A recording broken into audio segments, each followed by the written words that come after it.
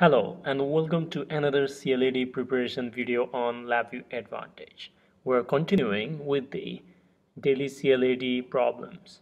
Please pause, scroll or mute if necessary to understand the problem and then resume when ready. So let us begin.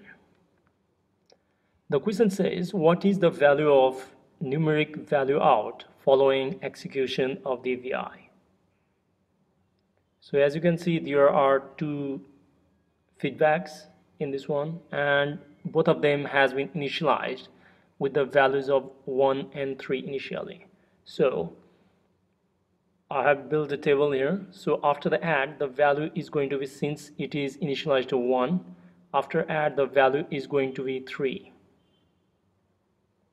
and uh, since the another feedback has the initial value of 3 so after subtraction the total value is going to be 0 in the second iteration since the value is 0 after add the value is going to be 2 and after sub it is also going to be 2 because the feedback value has been changed to 0 now in the third iteration since the feedback value is 2 after the result after the addition is going to be 4 and finally since the feedback another feedback is also 2 the output is going to be 2 so answer is B.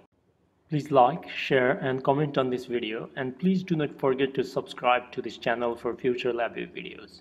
I'll see you next on the another CLAD preparation video